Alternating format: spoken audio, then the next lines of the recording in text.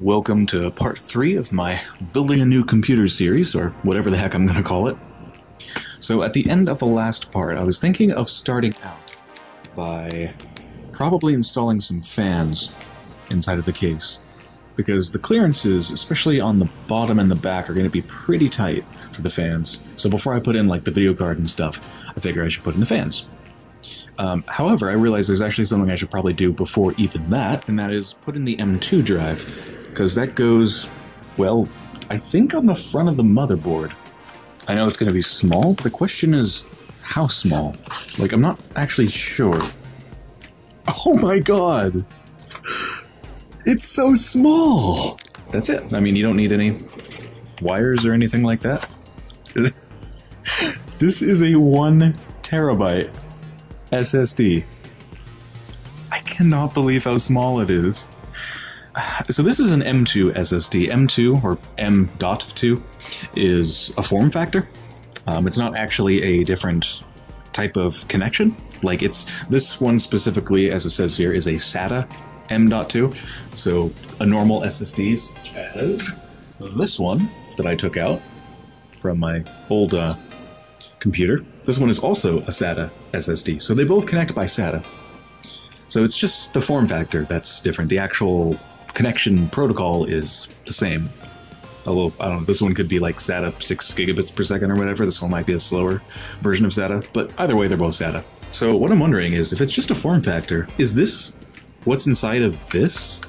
I think that's where it connects, and then this little screw is what tightens it down. I think. I know there's different sizes of M.2 drives, so it looks like this little thing that tightens it down could go into one of any of these three holes. So I'm guessing that's how you adjust for the size of the M.2 drive. Oh, oh, it goes up there? Aha. There we go. So it looks like it's kept under some tension. So it's snapped in, and if you just leave it there, you can see it actually presses up a little bit. Okay, well that seems to be it. It's, uh, hmm. I'm not sure if this is how you're supposed to do it, although I can't think of any other way.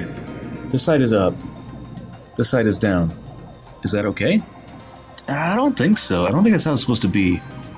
I was about to search for how to install it online, but I think I actually figured it out. So this was installed in the motherboard, and I took it out thinking that this needs to be put on top. On top of this little notch. Like this. But I don't think that's it. I think it's supposed to stay in the motherboard as a standoff, just like a motherboard standoff. I was able to tighten it, and it fits in sort of with Phillips. Actually, no, not sort of. It definitely fits in with a Phillips head screwdriver. So I thought, eh, it's just a kind of weird looking thing, but you're just meant to use a Phillips head in it. But I think there's actually a little place in there for another screw. So this is the standoff, and then the screw goes into it, I think. And I bet the screw is that weird, tiny little screw that came with the motherboard. Remember when I when I took that out and said, "What the heck is this?" A single screw. Haha, it is. It threads into the center. Okay, that makes more sense.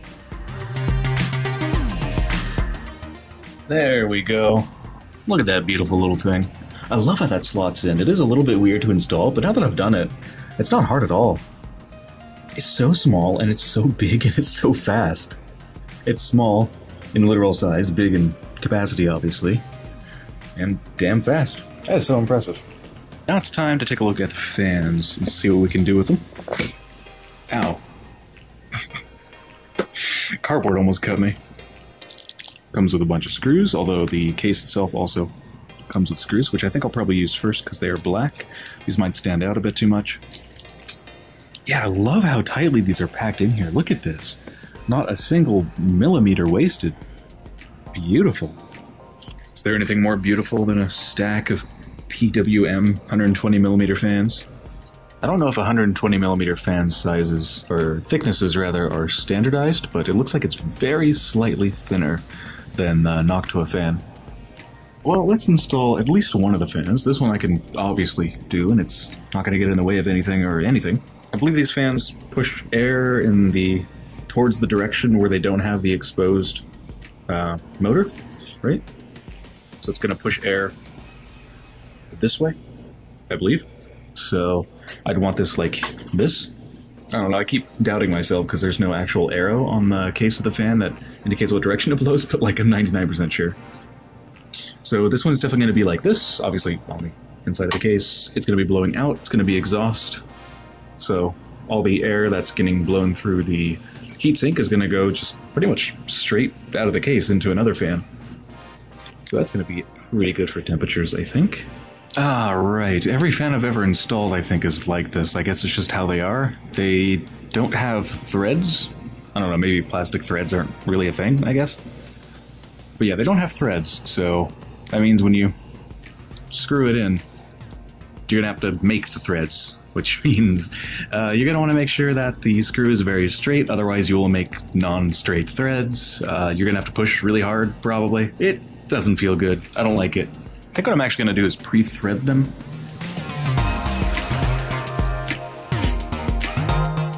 Oh, that was exhausting. All right, one fan in, probably four to go. What I'm wondering is how do I install these other ones? The bottom ones, obviously the fans go on top, which would mean they must be screwed in from the bottom.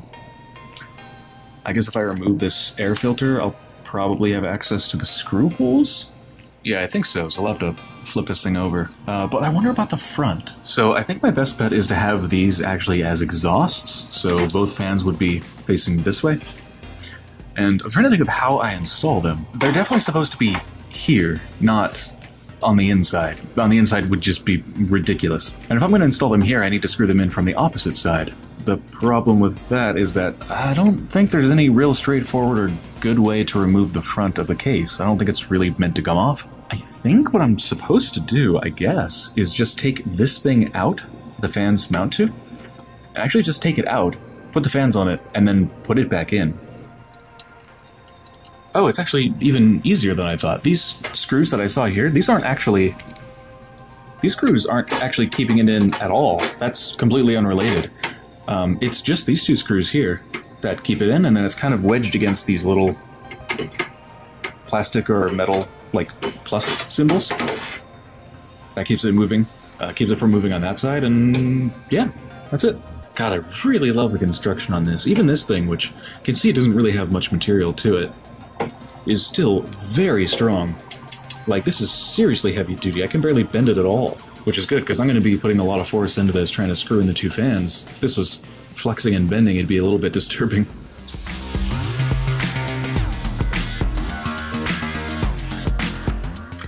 Okay, got it installed. Um, I decided to use the screws that came with the fans, which don't really match the color of the case, because these are going to be put in, like, this.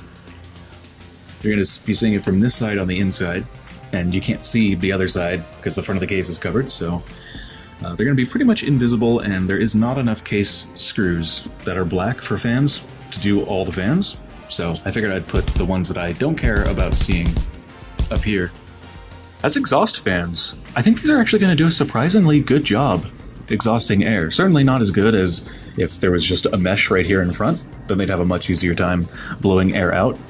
So they are, they are going to be forced to blow air sideways into the honeycomb that's on the opposite side. But they've done a really good job at encouraging the air to go through the honeycomb rather than recirculate, for example. There's a perfect hole that's almost exactly the right size for the opening in the fan on this plate here. So the fans themselves form a pretty nice seal. Seal's probably not the right word, but you know. Up here, there's a, metal plate that's part of this bracket so that the air is encouraged to go out the side rather than uh, up here. Because if this was open, that'd be pretty bad. These fans would blow air forwards, and then a significant amount of it would just be blown up and back into the case. But that's blocked off. You know, it's, it's far from airtight, of course. There's lots of holes. There's a hole here, and there's the hole open. Um, the air can also get out here where the cords are supposed to come through. So there's definitely holes, but it's still heavily encouraged to go through the honeycomb. So I think it's actually going to be pretty good. Now the big question is, what about the bottom fans? Will they fit with the video card? The video card is two and a half slots tall. How tall is this? Yeah, that should be fine. It's almost exactly one slot tall, so there's going to be there's going to be half a slot in between the video card and these fans. Oh, that's going to be weird. I hope that's not a problem. we'll see. I'll do some thermal testing. Uh, I'm thinking it's either going to be really good for the video card because it's going to have two fans blowing directly on it, basically touching it, or it could be really bad. I can't think of why it would be bad though. As long as these bottom fans are on, it should be fine. If they're off, then they would obstruct the airflow going into the video card. But if they're on, it should be fine, right? Okay, there is a problem actually. I believe I can still put the fans in, but I can't do them just yet because uh, the fan is going to be almost exactly here, where it is now. But the thing is, at the very bottom of the motherboard, there's all this stuff. That's the system fan connection over there on the left, but also most of these are things that connect to the front panel of the case. So I need to plug all these in before I install the fans, because I will not be able to plug anything in with the fans in the bottom. Okay, this is where we start getting into cable management hell. So I fed in all the stuff that comes from the front panel into, well, in here. So we got all sorts of things, such as we have HD audio. I believe this is the connector for the USB 3.0 connections up there. These tiny two-pin connectors are for the hard drive LED showing you hard drive activity, the power switch, the reset switch, and this, I don't actually know what this is. So the motherboard manual has a diagram that shows you exactly where to connect all these little connections. Do you know how hard it is to connect these three separate connections? Oh, man. Oh, I figured out what this connection is, by the way. Um, it's the power for the LEDs in the front. If I want to give it power, I'm going to have to connect one of these modular connections to the power supply. I think this will be the only one I need. It seems kind of wasteful and annoying to have this whole bundle of wire just for just for the LEDs in the front, but it's not really going to matter because I've pulled that power connection out to the front because I thought it would connect to the motherboard, but it doesn't actually need to. It just needs to connect to power, so I can actually shove it back behind on the other side and just leave it there. Fans are installed. Alright, so I managed to fit all five fans in here, which is kind of incredible. We'll see for sure once I put in the video card, but given that I already measured it, I'm like 95% sure that it'll fit. As you can see though, it's starting to get a bit, well, annoying with all these cords, and I don't even have the power cords in here yet. So it's time to start doing some cable management. So there's something interesting about these fan connectors. If you notice, each fan actually has two different connectors. The reason for that is you could basically daisy chain these together. So for example, what I can do, and what I'm going to do, is for both of these bottom fans, I'm going to connect this one can actually do it right now. Um, this left fan is already connected with its main connector into sysfan, I think it's sysfan 1 over there. So this fan over here, I could connect it into the daisy chain thing of the left fan. So what this means is that basically if I set the fan speed on sysfan 1, it's going to affect this fan, and it's also going to forward the power and the signal and everything to this fan. So essentially it allows you to control multiple fans with one connector to the motherboard, which is very good because this motherboard only has three fan connectors, and I have, well, five fans that I just installed plus this one makes six. Let's do some cable management planning. That's pretty good looking. I'm not done with all the wires, of course, but I was just focusing on the fan wires specifically. I've sorted these into two groups, aside from the CPU fan, which is just connected to its own thing, of course. The front two, this one's daisy chained to this one, and then this one is daisy chained to the back one, and then this one is connected to sysfan 1. So sysfan 1 is going to control the two fronts and the one back with just one connection. Uh, I'm grouping those together because those are the ones that I'm like 99% sure I'm definitely going to want to turn on and will not cause any problems and will only make the case cooler. The ones I'm not so sure about are the bottom two. So this one is daisy chained to this one, and then this one is connected to sysfan 2. I think it's time to put in the memory and then the video card, so let's open up this Corsair Vengeance. Still makes me sad that this should have been like 70 bucks, but it was 150, because memory prices have been doubled for like a year. There we go. Sticks look pretty good. They have a little heatsink on it, which is what I'm used to, and usually I go with G.Skill memory, but this actually has a heatsink that I like more. Like G.Skill tends to have these big teeth that kind of come up even more off of the heat off of the heatsink.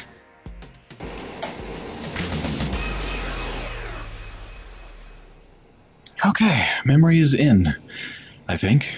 It always disturbs me how hard you have to press to get the memory in. Like, it's really hard, to the point where you're flexing the PCB of the motherboard a lot. Because the furthest right that this is uh, connected to the case with standoffs on the motherboard is that screw right there. So this one here is a little bit to the right of it, so it bends the board a bit when you're pressing hard. And this one here is even further to the right, so you gotta like really, really press it, and you can see the flex. It's disturbing. It's time for the final piece of the puzzle, the final piece of hardware to install inside. Oh my god, it's a huge EVGA poster. And some stickers. Max. Maximum enthusiast built. Bad gradients plus outer glow. Oh, this is the cheesiest thing. I'm not putting this on my wall. It's basically like a big sci-fi poster, ostensibly for a movie. It's got credits listed like a movie, except of course it's not. It's just like, look at what we have, world class, starring world class service, sci-fi thingy in space, EVGA.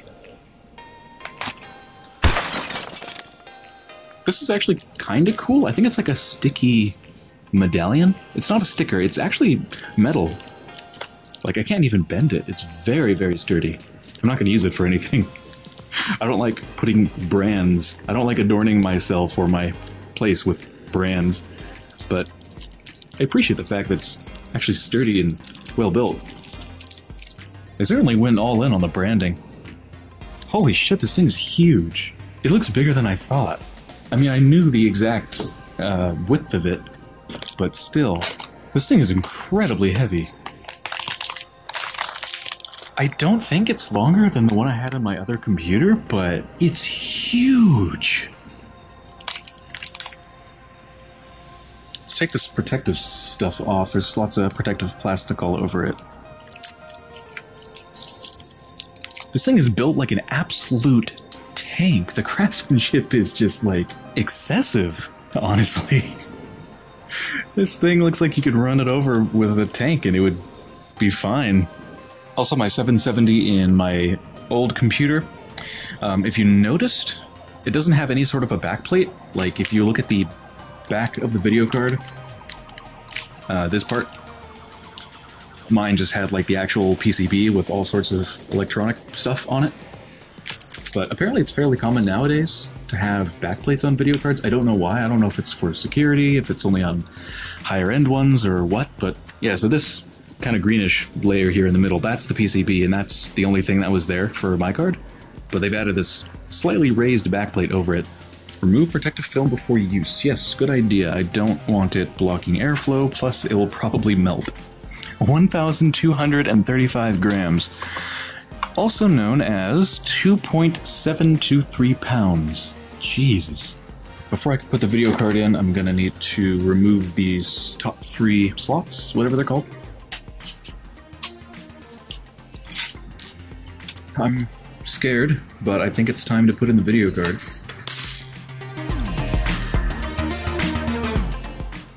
Ah, I kept hitting something, and I think what was stopping me from being able to go in is this. Can you see that? Yeah. This fan connector was stuck up here. So I moved this out of the way of the PCI Express slot, but this was stuck here on the piece, the other smaller PCI Express slots, and that was preventing the card from going down, I think. Um, this needs some more slack. Try number two. There we go. It's going in. Oh, just did it. Popped in. It all fits. It is a monster of a card in a lot of ways, but it's not extremely long. It looks extremely long in this case just because the case is so small, but it's honestly a pretty average length for a high-end card. There are some cards that can be 12 inches or so. This one's about 10 and a half. But yeah, let's look at the clearances. It's got a little bit of clearance between the CPU heatsink and the top of the video card. You can see there is a about half a back slot distance between the intakes on the video card and the intakes on the bottom of the case. Which again might be very, very good. This video card might be extraordinarily cool, or it could be terrible. I'm not sure yet. And uh, there's plenty of room, actually, between the fans in the front and the end of the video card. Okay, power is pretty much routed.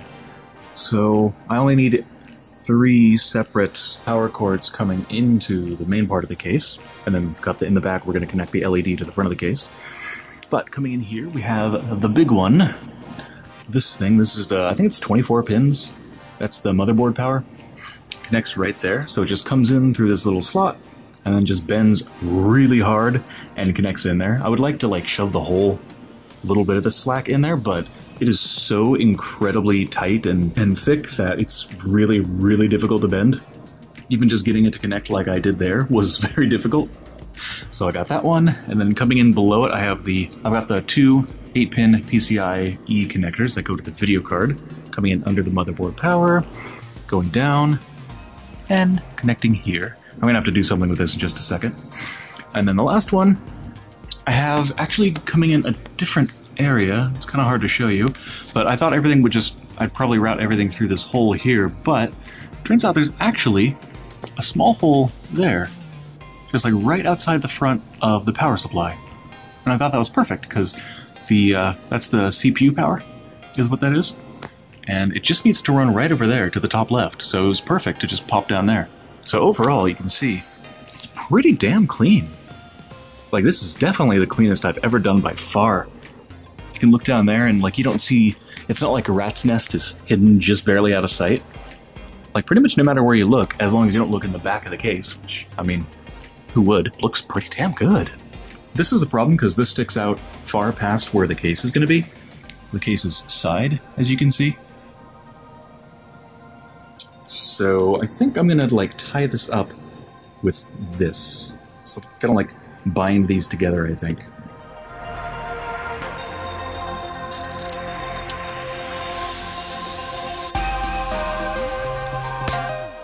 Probably be good enough. I think it'll still push on the uh, glass a tiny bit, but just a tiny bit. It should be able to pretty easily be pushed in. It's not that hard to push it at this point.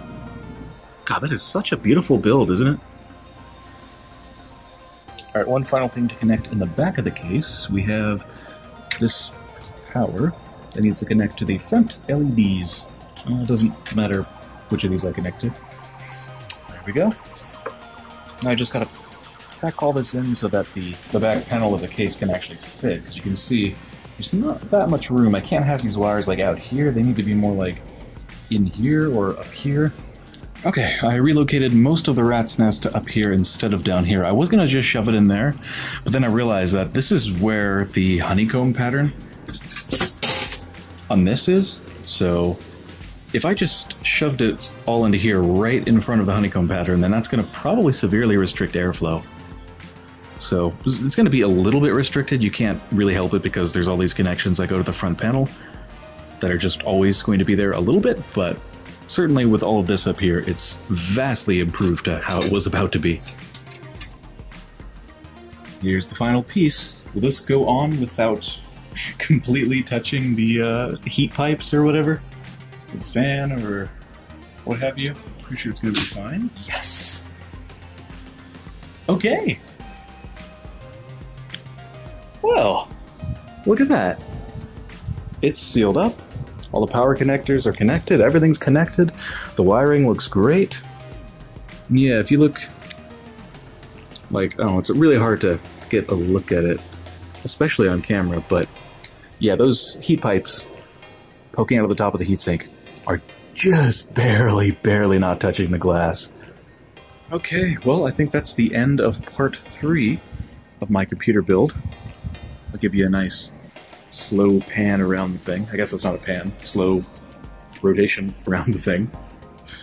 Um, I am going to go to bed because it's almost midnight. As much as I want to turn this thing on and see if it works, that's just a whole can of worms. Like, as soon as I turn it on, if it works, I'm going to want to install Windows, I'm going to want to install updates, etc., etc. Whoa, that looks like smoke. looks like there's smoke on the front of it, but that's just a reflection off of off of this. Yeah, that's a gorgeous case. I really love it. Alright, that's been part three of my computer build. I hope you've enjoyed. And when I come back for part four, we are done building, at least for now, assuming everything works okay. And we're going to go into plugging it all in, testing it, making sure it works, etc., etc.